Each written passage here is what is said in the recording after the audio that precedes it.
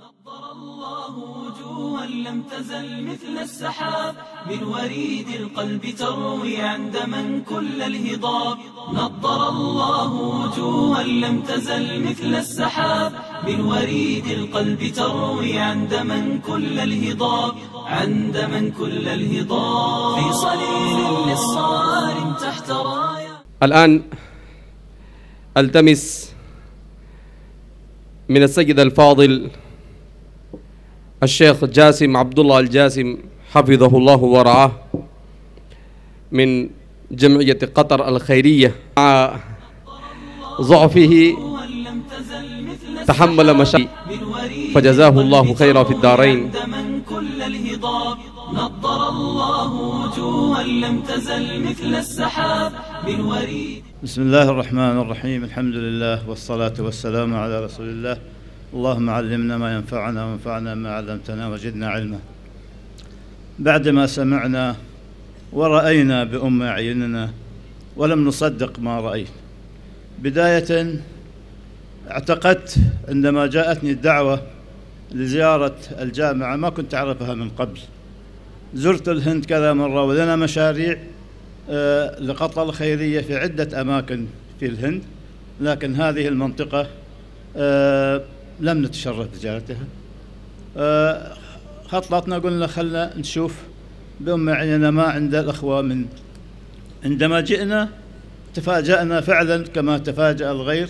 ولا أريد أن أكرر ما سمعناه لكن شيء معجزة أن نرى هذا العمل الجبار الذي بدأ بابتدائية أو طلاب الابتدائية إلى أن وصل هذه المرحلة من الجامعة. ولولا إخلاص الإخوان في هذا المشروع ولا نزكي على الله أحد لما وصل هذا المشروع لهذا المستوى الذي نراه. ونحسب أننا قد نكون مقصرين في دعم كثير من المشاريع الإسلامية في كل مكان ومنها الهند. لأننا كما آه، يصل إلينا من معلومات من بعض الإخوة في الجمعيات المماثلة هنا وهنا فنبدأ بزيارتهم ونلقي الضوء على ما يحتاجونه من بعض المساعدات. لكن مجال التعليم مغيب. مجال التعليم تركيزنا على الإغاثة تذكيرنا تركيزنا على الأيتام. أما التعليم فالآن بدأت بوادر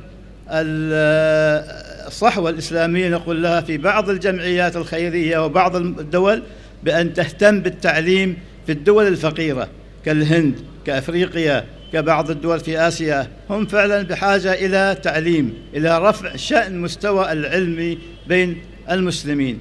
حتى ترجع لنا قوتنا وترجع لنا سيادتنا في هذه الدنيا.